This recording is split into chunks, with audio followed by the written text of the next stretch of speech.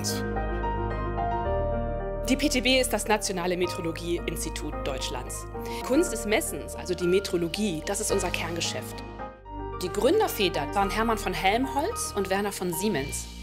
Die Grundidee war, um die Forschung weiterzubringen, müssen Messergebnisse vergleichbar werden und dazu braucht es eine nationale Einrichtung. Man hat sich international auf das sogenannte SI-System geeinigt. Das SI umfasst die sieben Basiseinheiten. Ein Metrologe versucht immer exakter zu messen. Was ich schön finde in der PTB ist, dass man den Job als Naturwissenschaftler in seiner Reinform ausleben kann.